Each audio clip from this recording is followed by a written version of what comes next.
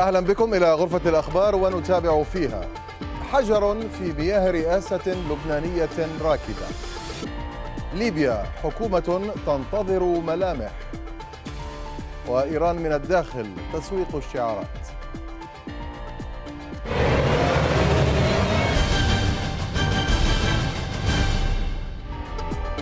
البداية من الشأن اللبناني إذ يبدو أن صدمة ترشيح سمير جعجع رئيس القوات اللبنانية للنائب ميشيل عون الزعيم السابق للتيار الوطني الحر لرئاسة الجمهورية ما تزال أصداؤها تتردد في الدوائر السياسية في لبنان والخارج. هذا الترشيح أثار البلبلة ولا شك في صفوف تحالف الرابع عشر من أذار الذين يتدارسون سبل الرد على خطوة جعجع عون.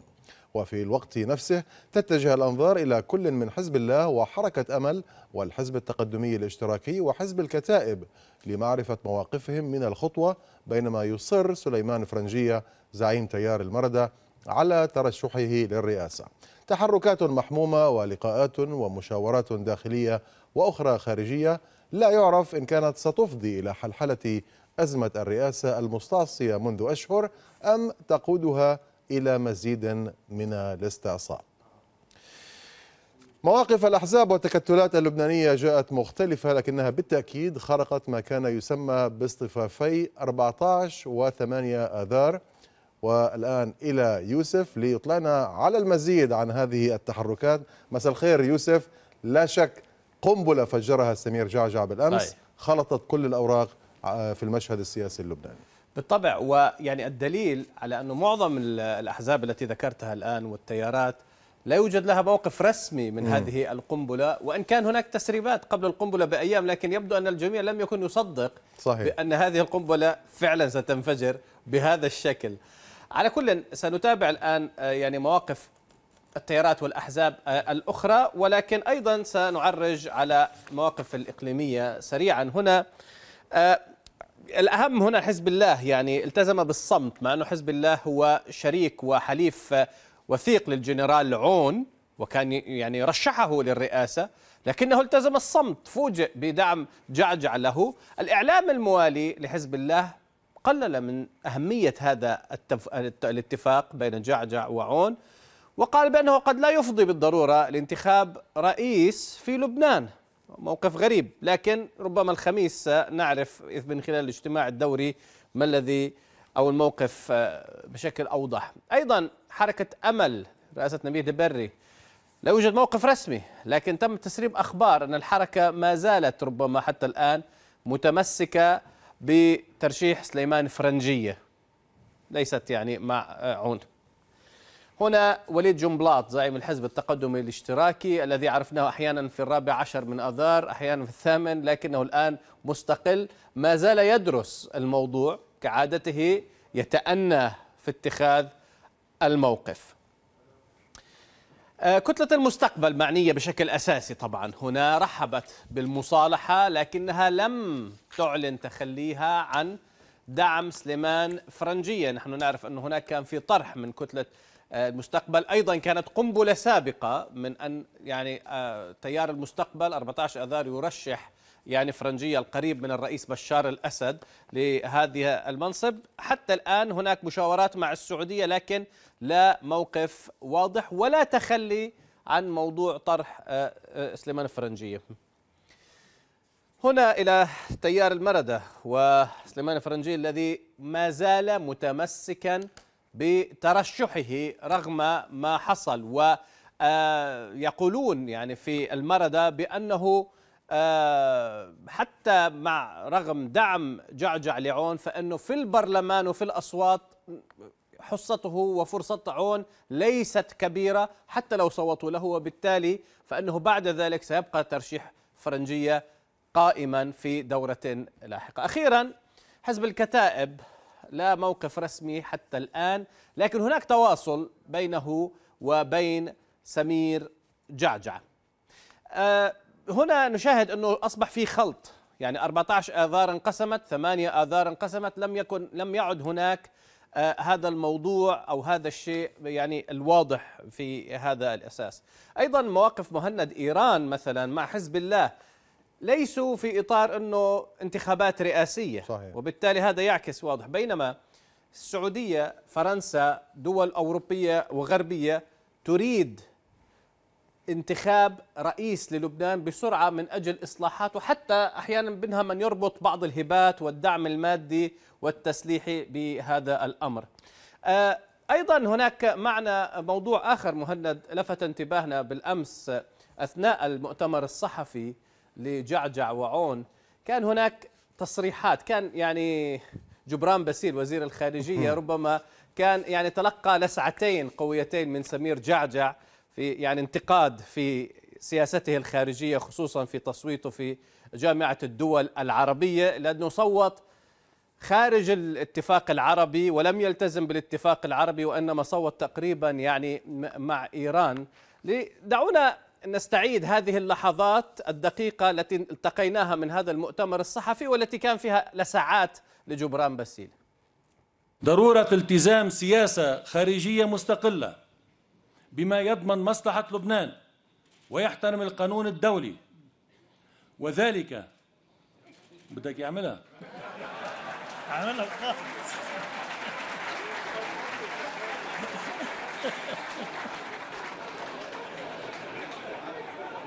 وذلك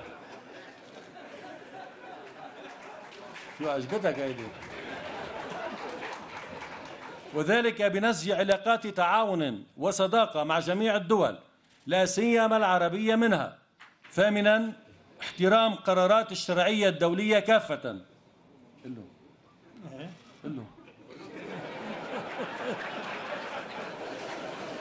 هو؟ والله مبيض الوجه.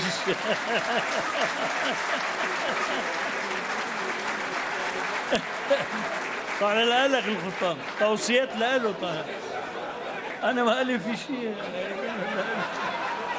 هلا ما لك فيها شيء بعدين راح يصير لك فيها. احترام قرارات الشرعية الدولية كافة والالتزام بمواثيق الأمم المتحدة وجامعة الدول العربية. لساعات مهمة يعني يعني حتى أثناء مهند إعلان اتفاق ودعم يقول بأنه يعني السياسة الخارجية مع جبران فسيل مع الشريك الجديد لم تكن على هواه ولم تكن ملتزمة لا بقرارات الشرعية الدولية آه ولكن ولا موقف جبران باسيل في الجامعة العربية كان قبل قبل أيام قليلة يعني هذا الاتفاق تم الإعلان عنه بعد هذه المسائل وكان المفترض أن يكون هناك مشاورات ودراسات بين الطرفين منذ منذ فترة وليس من من يومين هذا يعني. ما يطرح سؤال أنه من جاء عند مين؟ عند موقف مين يعني؟ شوف المنطق يقول يوسف أنه أنت عندما تدعم مرشح سواء للرئاسة أو لأي منصب آخر تكون متفق مع سياساته متفق مع توجهه. ميشيل عون مع سلاح حزب الله في لبنان مع التدخل حزب الله في سوريا هذا هل هذا يعني أن أن سمير جعجع موافق على هذه الموافق المواقف آه، آه، أم لا؟ يبدو آه، في لدينا تقرير من مراسلنا حول المواقف أيضا، دعنا اولا يعني نشاهد التقرير ثم نذهب للضيف للحديث حول هذا الموضوع المهم. أعلنها رئيس حزب القوات اللبنانية سمير جعجع بتبنيه ترشيح خصمه رئيس تكتل الإصلاح والتغيير ميشيل عون من معراب لرئاسة الجمهورية أعلن تبني القوات اللبنانية لترشيح العماد ميشيل عون. خلط للأوراق وانقلاب سياسي. هكذا وصف متابعون ما حصل. القوى السياسية تترقب وتنتظر لتعيد تموضعها بعد لقاء الخصوم في معراب وسط تباين في قراءة هذه الخطوة بين من يصفها بالاستراتيجية ومن يضعها في إطار الكيدية السياسية. لقاء معراب بحد ذاته بالأمس شكل معطى جديد. على على صعيد يعني انتخابات الرئاسة في لبنان. آه، أمر واقع سيكون على كل الأفرقاء التعامل معه سلبا أم إيجابا لكنه صار يعني مسألة أساسية في قوتين أساسيتين الشارع المسيحي التقطا أمس على نقطة معينة على باقي الأطراف أن يجيبوا على هذا الأمر. ألا آه، مآل الرئاسة ليس بالضرورة أن آه، قصر العبدة سيضاء غدا. ردود الفعل خجولة والصمت سيد الموقف. كسره النائب سليمان فرنجي بإعلانه الاستمرار بترشحه لمنصب الرئاسة وفيما تعقد الكتل السياسية اجتماعات لها لتدارس الموقف. اكتفت كتلة المستقبل بعد اجتماعها الأسبوعي بالترحيب بمصالحة عون وجعجع. في إنهاء الشغور في رئاسة الجمهورية تعرب الكتلة عن ارتياحها للمصالحة التي جرت في معراب بالأمس بين القوات اللبنانية والتيار الوطني الحر. وتتابع الكتلة المستجدات المتعلقة بإنهاء الشغور في موقع رئاسة الجمهورية. وقد توقفت عند إعلان القوات اللبنانية دعم ترشيح العماد ميشيل عون وإعلان الوزير سليمان فرنجي عن عزمه الاستمرار في الترشح للرئاسة. وبعد إعلان زعيم حزب القوات تتركز الأنظار على مستقبل العلاقة بين زعيم تيار المستقبل سعد الحريري وجعجع بعد تزكية الأول فرنجي للرئاسة وتبني جعجع ترشيح عون يعني حسب ما بيحكي تيار المستقبل إنه هن عملوا فعل سمير جعجع عمل رد فعل وتقف القصة هون. أنا بعتقد إنه هذه العلاقة في محل معين انشعرت بس مش معناتها إنه رح تروح للقطيعة الكاملة. بعتقد جعجع بحاجة ليضل محافظ على علاقاته لأسباب عدة يعني. وبعتقد أيضا كمان حاجة تيار المستقبل و14 اذار لقوة مسيحية تمثل على الأرض أن تظل هذه العلاقة قائمة. ويرى مراقبون أن الاستحقاق الرئاسي أمام ثلاثة خيارات معركة ديمقراطية بين عون وفرنجي أو توافق سياسي على اسم واحد أو استمرار الفراغ والتعطيل السياسي. من المبكر الحديث عن التبعات السياسية النهائية وشكل التحالفات الجديدة بعد إعلان معراب الأخير. والأكيد أن صورة الاستحقاق الرئاسي تزداد تعقيدا مع الحسابات التي فرضها ترشيح جعجع لعون. سلمان العنداري سكاي نيوز عربية بيروت. يوسف دعنا نحاول أن نضع كل هذه القطع مع بعضها لنكون صورة وعلى الأقل صورة مرحلية مع ضيفنا من بيروت الباحث والناشط السياسي جاد يتيم. مساء الخير أستاذ جاد. مرحبا بك معنا في غرفة الأخبار.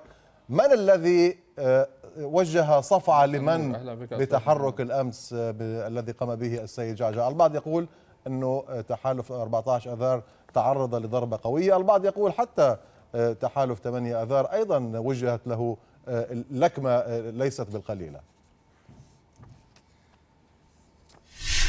في الحقيقة دعنا لا نقول صفعات ولكن بالتأكيد لم يعد الحديث مجديا عن تحالف 14 أذار وتحالف 8 أذار. آه، هل ما قام به آه، سمير جعجع أمس مع الجنرال ميشيل عون هو تحالف؟ لا يرقى إلى تحالف هو إعلان برنامج رئاسي وغير واضح.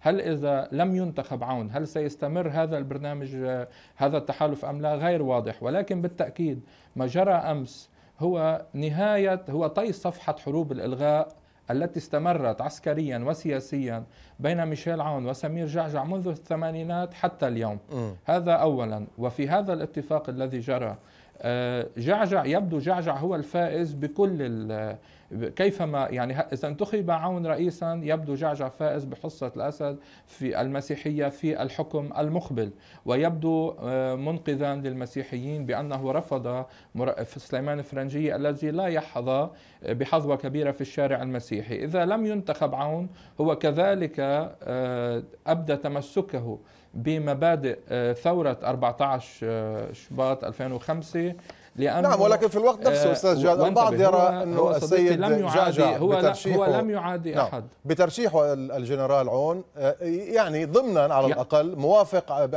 على سياسات عون فيما يتعلق بحزب الله سلاح حزب الله آه، سلطة حزب الله تدخل حزب الله في سوريا. يعني على الأقل هذا ما يبدو عندما تدعم شخص يؤيد هذه التوجهات. صحيح من حيث الشكل. آه، هناك فرق بين آه، آه، الرئيس سعد الحريري أجرى مباحثات رئاسية مع عون قبل قبل نحو سنة.